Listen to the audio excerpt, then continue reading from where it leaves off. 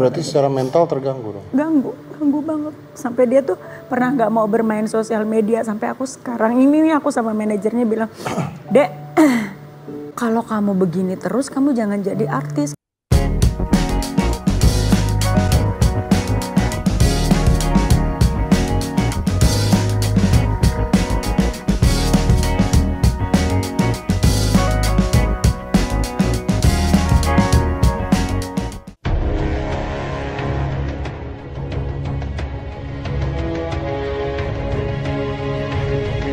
Sering dihujat fan Lesti Kejora dan Rizky Bilar, Iis Dahlia.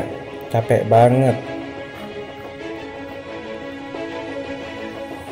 Pedangdut Iis Dahlia mengaku lelah terus menjadi hujatan para penggemar Lesti Kejora dan Rizky Bilar.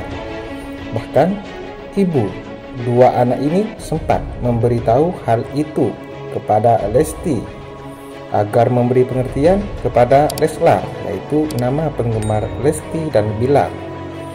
Adapun hujatan ini dilatar belakangi putusnya hubungan Lesti Kejora dengan anak asuhnya, yaitu Rizky DA, yang menikah dengan Nadia Mustika Rahayu.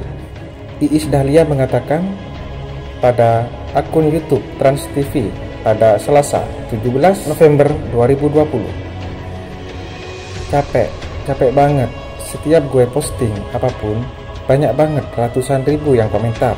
Dan itu komentarnya itu menghujat gue. Karena kesal. Mengapa aku sampai ngomong kayak gitu sama dedek Lesti? Ujar Iis Dahlia. Iis Dahlia memastikan bahwa dia masih berhubungan baik dengan Lesti Kejora dan masih menganggap seperti anaknya sendiri. Sampai sekarang aku masih komunikasi ke dedek Lesti masih anak gue juga sampai saat ini, kata Iis Dahlia. Menurut Iis Dahlia, hujatan kepadanya itu tidak wajar lagi, sebab Leslar ikut menghujat keluarganya. Hal itu bahkan sempat dikeluhkan anak bungsunya, yaitu Devano Danindra. Keluarga banyak banget, yaitu ikut dihujat. Kalau Salsa menanggapinya sudah lebih santai, kalau Devano anak kita baru meritis di dunia kesenian. Mamanya dijelek-jelekin terus. Ada yang bilang bahkan kasihan banget ya Devano lahir dari Iis Dahlia gila nggak? Gila ujar Iis Dahlia karena ulah haters yang kerap menghujat dia di akun media sosial anaknya.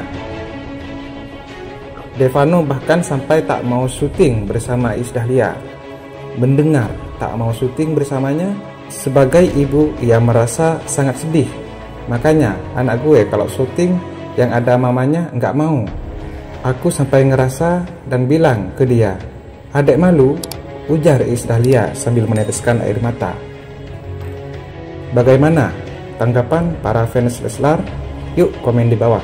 Jangan lupa like, komen, dan share sebanyak-banyaknya. Dan jangan lupa subscribe channel ini supaya lebih berkembang ke depannya.